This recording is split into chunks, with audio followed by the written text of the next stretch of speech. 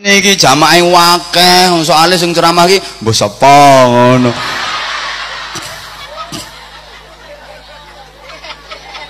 Enggak diundangnya yang berangkat. Ini ki marah bingung no tuan rumah, nambahi berkat. Ini aslinya nggak undangan sih. Apa melu teko sampean? Gak isin. Ini ki tuan rumah malah nambahi berkatan. Gopo kurang berkatnya kurang berkatane. Anjane wong kene gak duwe isin. Gak diundang teko.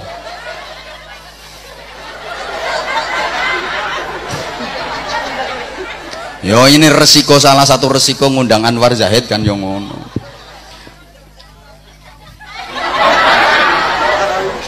Ngapunten, posomu yo gak ngebejaji. Poso yo cuma sing fardu Ramadan tok iku. Nggih mboten? Prei.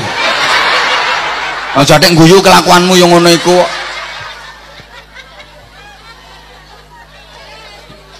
wong ngemis wis melas leh ngatong nyuwun sak welase gak dilkeki malah dilok-lokno hmm tutuk kene meneh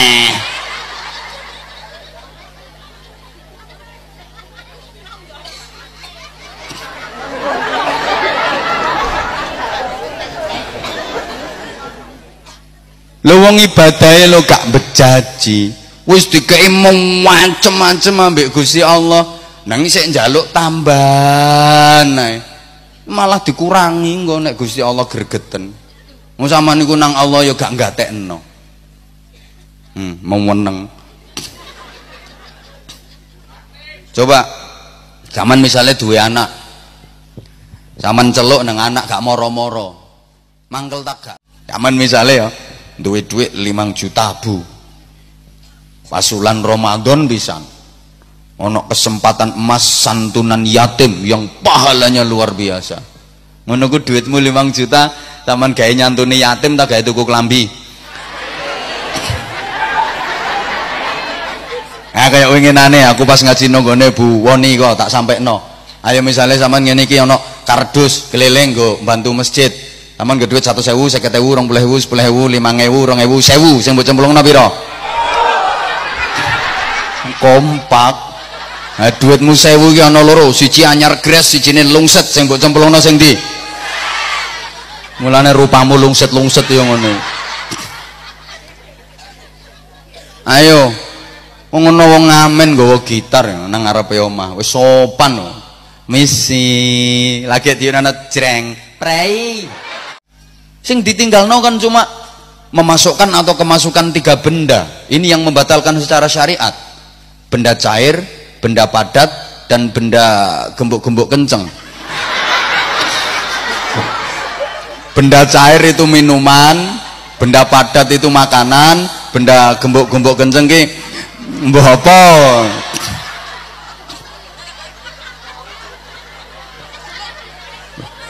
Lho posomu kan mek ngono sih maaf pikiranmu nggak puasa. Hatimu nggak puasa. Matamu yang nggak puasa. Tanganmu juga nggak puasa kakimu juga nggak puasa. Poso model apa? Ayo. Sodakoh yo gak bejaji hanya sebagian kecil dari nilai kekayaan yang itu dino Senin dino Kemis dikongkon poso. Yo enggak poso. Ayamul bid dino-dino poteh padang bulan nih tanggal telulas 14 15 rembulan dikongkon poso. Yo gak poso. Padahal wonge kiai lho iku. Saiki wonge nyekelimik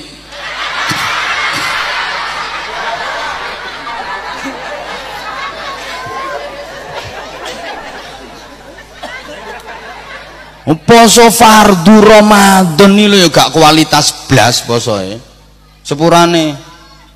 Wong poso cuma poso syariat. Sekedar gak mangan gak ngombe gak kumpul bojo ngono tok. Itu namanya kan puasa kelas rendah. Poso ecek-ecek. Wong yo mik ngono tok. Hanya meninggalkan yang membatalkan secara syariat. Anggota tubuh yang lain gak puasa tapi aku yang seneng lek lurahmu suarane gak enak coba enak mesti yo karaoke terus gitu Wong suara gak enak gayane nyaweri penyanyi terus kok.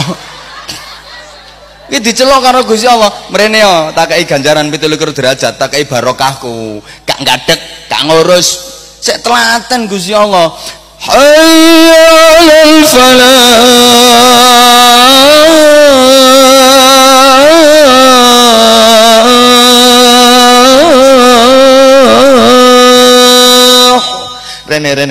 kei pitulikur derajat. Ya tak kei ganjaran sing akeh tak kei barokah tak kei ridho tak kei mafirah gak gadek ayo nek anakmu mau mbok cintes kira-kira sampean karo Gusti Allah diapakno?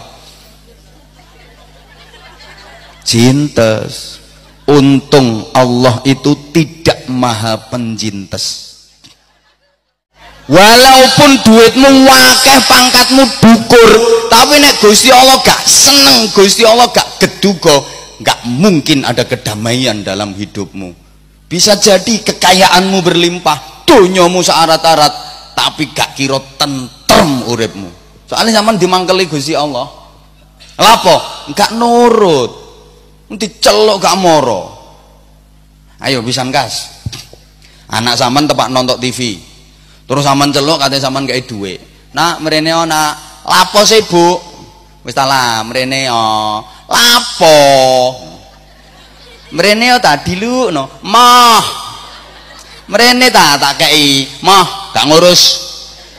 Sama no kira-kira anak model ngono ya cintes ae.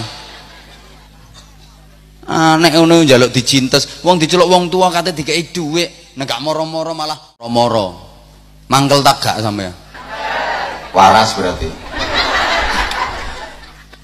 apa maneh anak diceluk lho kate dikai hadiah kate dikai dhuwit nang gak moro-moro mesti muangkel sampean lah saiki sampean diceluk ambek Gusti Allah.